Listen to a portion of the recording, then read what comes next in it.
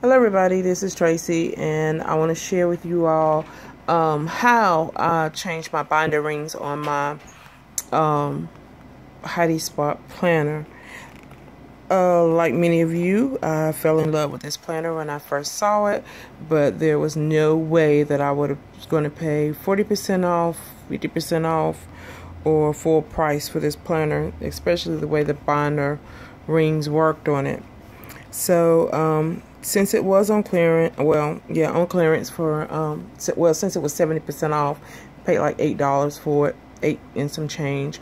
Um, I got it and I changed my binder ring on it so it flips really nice now.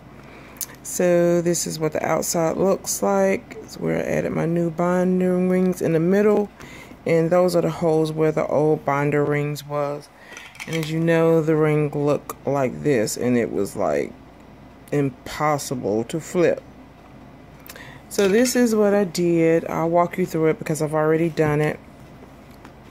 But this is the Tim Holtz um, binder ring, the larger one. So I added it in the middle. I'm not going to take it apart to put all these papers back in.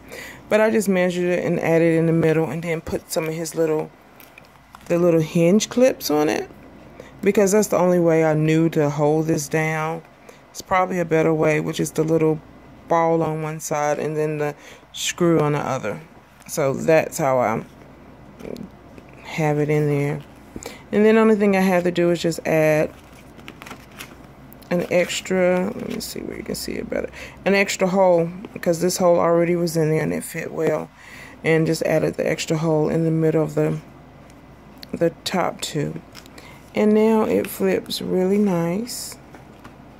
And I have no idea what I'm going to use it for, but I love planners, so had to get it for $8. And it didn't take me long to, to correct the issue that I found with it. So that's it. And that's where the, the binder ring used to be, like right there in such an odd place. Anyway, so I'll probably cover these up, my little brads, but I've just added them on the back so I just wouldn't have that big hole in the back. So that's how I did it. It was fast, it was easy, and for $8, didn't mess it up. I'm happy now. And thanks for watching. Bye, y'all.